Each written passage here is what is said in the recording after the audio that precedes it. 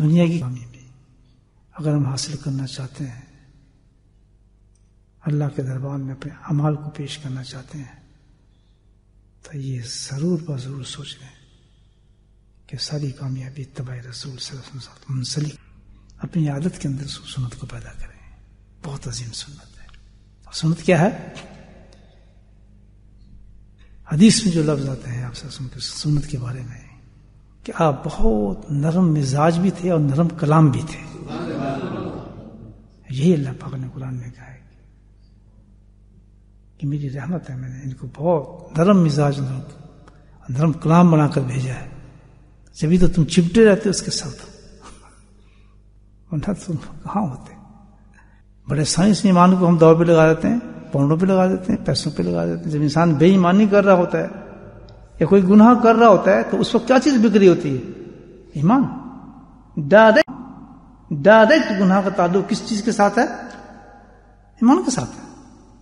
جیسے ہی کوئی گناہ کیا، وہ اللہ کی نافرمانی ہے۔ اس کی عوض کیا رہا ہے؟ ہم نافرمانی کیوں کر رہے ہیں؟ نافرمانی کیوں کر رہے ہیں کہ اس نافرمانی کے بدلے ہمیں کچھ چیز مل رہی ہے؟ نہیں سمجھے بات؟ نافرمانی جب ہم کرتے ہیں تو ہمیں کوئی پروفٹ ملنا ہوتا ہے تو ہم نافرمانی کرتے ہیں۔ یا تو نفس کا لذت آ رہی ہوتی ہے، کوئی مزہ آ رہا ہوتا ہے یا کوئی چیز مل رہی ہوتی ہے، تبھی تو ہم نافرمانی کرتے ہیں، گناہ کرتے ہیں بےمانی کرتے ہیں بدیانتی کرتے ہیں۔ یا تو لذت آ رہی ہوتی ہے اس سے، لطف آ رہا ہوتا ہے اس گناہ کے ساتھ، شیطان اور لطف ڈال دیتا ہے۔ اندر قرار آ رہا ہوتا ہے انسان کو۔ تو ہم خریدتے ہیں اپنی ایمان کو ایمان کو بک کیا رہے ہمارا، اس کے بدلے ہم چیز کیا دے رہے ہیں؟ اپنی ایمان کو دے رہے ہیں، ایمان کا حصہ جا رہا ہے۔ ڈائریکٹ جب بھی کوئی انسان گناہ کرے گا، دیکھیں گناہ کتنی بڑی چیز ہے، ایک نقطہ بیچ میں آ گیا۔ کس قدر ضروری ہے ہمارے لیے کہ کسی گناہ کو چھوٹا آدمی نہ سمجھے؟ کسی گناہ کو چھوٹا نہ سمجھے۔ حرام کرنا، فلاں کرنا، مارج کرنا، جھوٹ بولنا، فلاں۔ یعنی کچھ بھی گناہ جس انداز سے بھی انسان کر رہا ہے، یا نفس کو لذت آ رہی ہے، جسم کو لذت آ رہی ہے، بہت عجیب عجیب گناہ ہے نا۔ خالص فائدہ ہو رہا ہے، دنیا کا فائدہ ہو رہا ہے، مال کا، اور ہے اللہ کی نافرمانی پر۔ تو ہم کیا دے رہے ہیں اس کو؟ کون سا مال دے رہے ہیں؟ آخرت کی دولت دے رہے ہیں جو ایمان ہے۔ کتنا بڑا غلط قسم کا سودا ہو رہا ہے اس وقت، آپ یہ سوچیں۔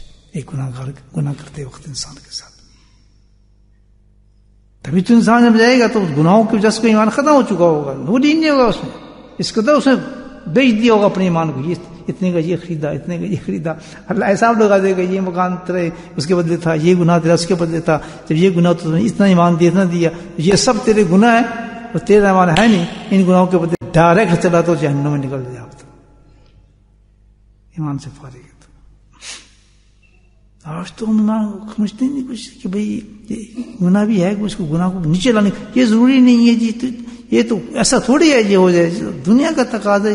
ہم تو ویسے تھے، ہم کو شامل تھوڑی تھے اس میں، ہم نے کچھ جان کی تھوڑی کی ہے کوئی دستور نہیں ہے۔ بشتی ہم نے ایمان کو سو